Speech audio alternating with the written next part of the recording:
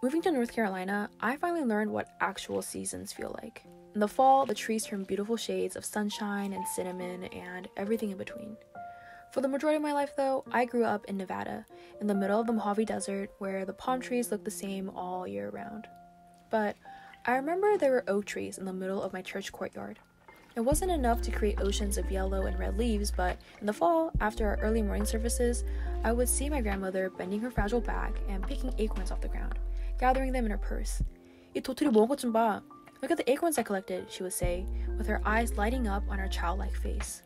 My little sister would come running around the corner, yelling, with four or five acorns in her tiny hands. Look, I got some too!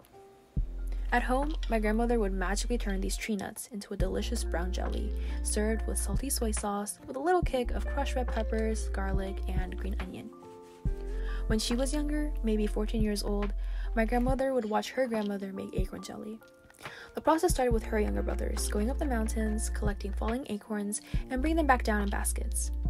The actual preparation and cooking of the acorn jelly was a long and laborious task that required drying out the acorns in the sun for maybe a week and then using a mortar and pestle, a mill, a cheesecloth with lots of grinding, filtering, waiting, stirring, and more waiting.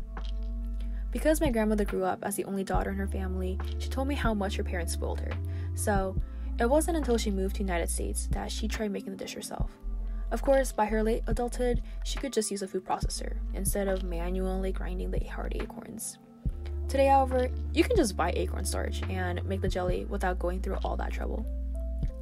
For as long as I can remember, my grandmother was always physically sick, diagnosed with an autoimmune disease called lupus, and unable to afford healthcare as an undocumented citizen. But whenever I ate the soft acorn jelly that melts in my mouth, I don't remember my grandmother for her weak knees and prosthetic hip. I remember how happy she was, picking up these tiny acorns as if they were pearls in a sea of leaves.